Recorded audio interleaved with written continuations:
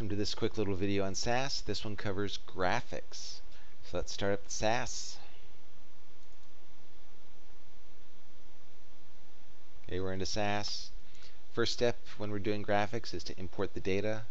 Makes sense because you can't do much with the data unless it's in SAS's memory.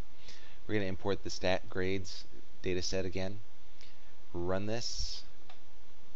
Recall to run it we can either do F3 or click on the running person. So here's the data that was imported. Should look pretty familiar. Notice up here there's no red, so there was no errors. Okay, so the data's in there. First step, or the next step, let's go ahead and do a bar plot.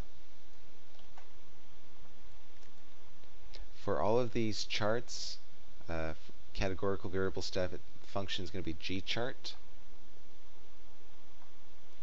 proc gchart, specify your data, specify what chart you want. H bar will be for horizontal bar chart, and the variable.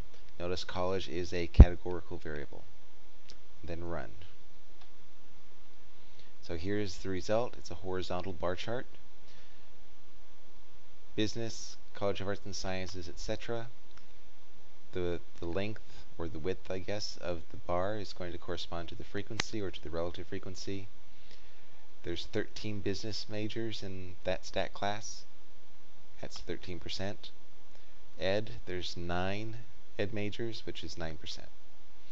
Now one thing we can do to tidy this up a little bit is to get rid of these statistics on the right. To do that, instead of hbar college, we'll just do slash no stats.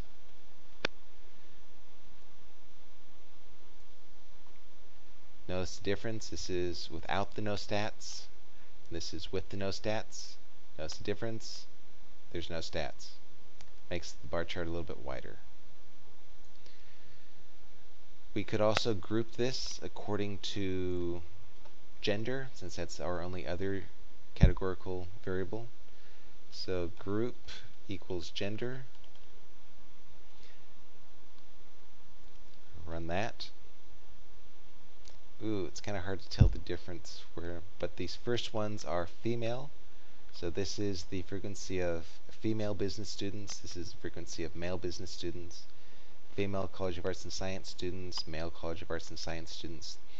It would be better if there was a bigger space between these two, so let's go ahead and get a space in there. Um, to increase the space, we're going to call it G space. We're going to make it 10 that will increase the spacing between the groups, hence the G in G space. So here's without the G space, here's with the G space. Big space between the males and the females allows you to better see where the break is between males and females. And instead of a horizontal bar chart, we could do vertical bar charts. Horizontal would be H bar, vertical would be V bar. And we can also change the space between the individual bars. Call it space equals 1. So now we got vertical instead of horizontal. We got this space between the groups, the G space. We got the space between each of the categories within the group, which is space equals 1. Female on the left, male on the right. So grouped bar chart. We could also do, instead of frequencies, we could make it percents. Type equals percent.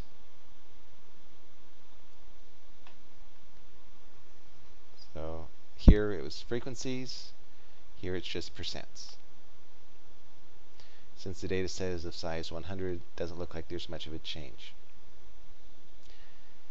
We could also do pie charts. So instead of V bar for vertical bar chart or H bar for horizontal bar chart, it'd be just pie. Go ahead and get rid of all of that. And look at a pie chart. Gives us the level and the frequency of that level and then graphically puts it into a pie chart. We could also split this by male and female if we want. Same way, group equals gender.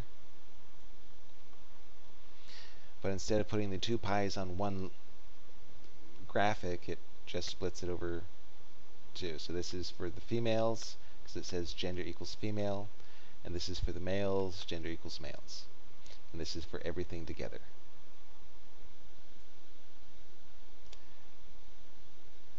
Three, histogram. The bar charts, the pie charts, etc. all come are all used to illustrate categorical variables. Histogram can be used to illustrate or to look at the distribution of a numeric or quantitative variable. Histograms are found in the proc univariate. Again, it's proc univariate, specify the data, specify the variable that you want the histogram of. In this case, we'll want it of the grade, and then the keyword histogram. Notice every one of those lines ends with a semicolon. Here's what the histogram looks like. Notice that you also get univariate statistics on the variable grade because you're using proc univariate. If you want to overlay this with the normal curve, it's not too difficult.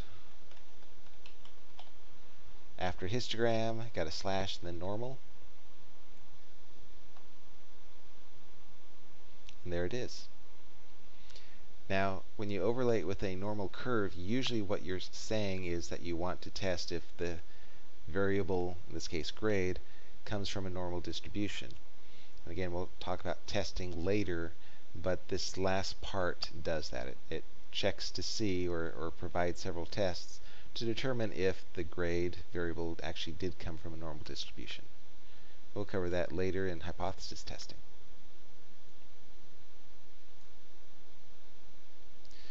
That was 3, the histogram.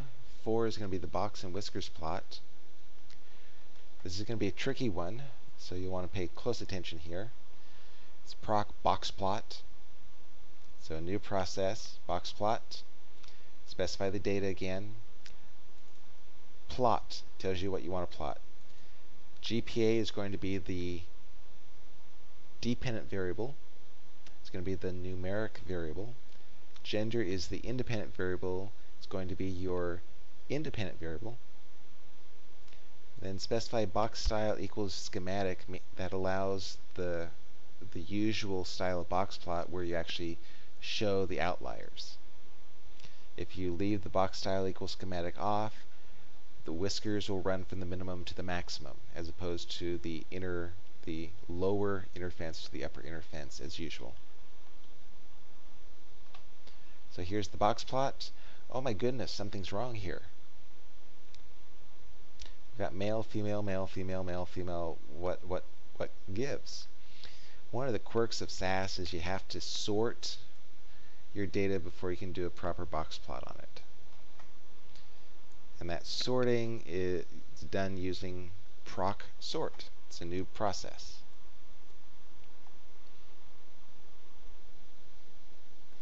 Proc sort, give it the data, specify uh, what variable you're going to sort by. We're going to sort by gender because we're going to plot our box plot by gender. Now when we run this, we get the box plot that we expected. Female on the left, male on the right. These are outliers for the females. These are maximums. This is a minimum for the males. This is the lower inner fence for the females. Horizontal line, again, is going to be the median. This is Q3, Q1. Here the diamond is actually the mean. So SAS gives you automatically the mean for your box plot, which is kind of helpful. The fifth is going to be the CDF plot.